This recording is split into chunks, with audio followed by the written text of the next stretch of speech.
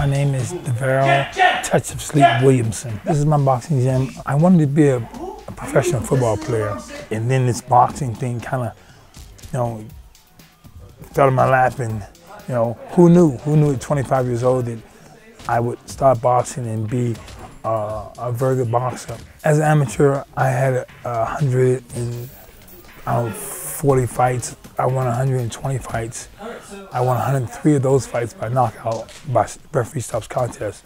As a professional, I'm 28 and 7, so I've had success in both. To be the only heavyweight to win the U.S. National Championship three years in a row was, was, was huge.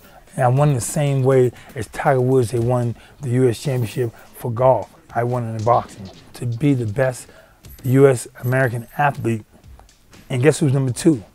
Lance Armstrong. And this is 1998, this is not 2008. It certainly gives you a certain uh, reputation that, hey, this is why I'm listening to this guy, this is why I'm here, because this guy has accomplished these things, you know, in his career. This guy has done some things and he's telling me how to do them and how not to panic and how to calm your nerves and, and, and to be successful.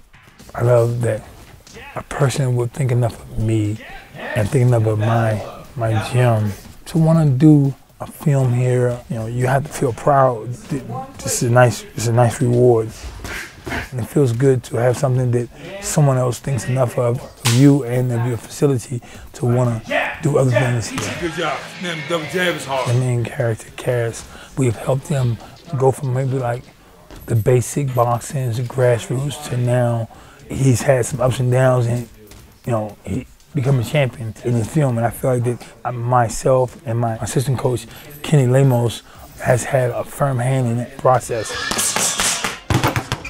Sometimes in sports or sometimes in life, you know, people, they want the gratification right now. They don't really believe in the process or they don't allow the process to maturate, to, to mature. Good.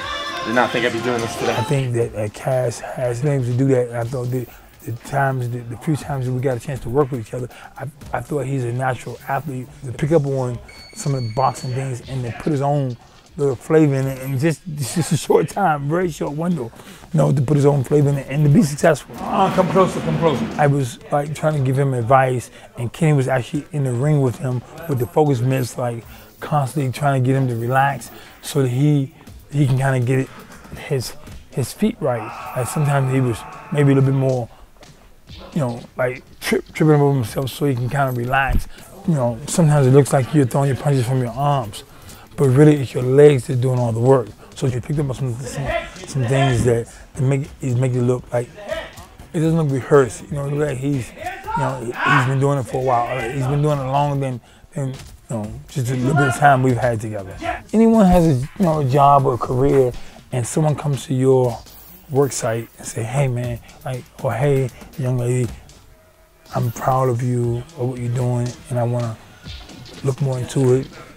Maybe how you type or how you sew or how you work it, you know, in carpentry. But it's boxing is something that I've been very, very good at, and I've had some success in and that feels that feels amazing.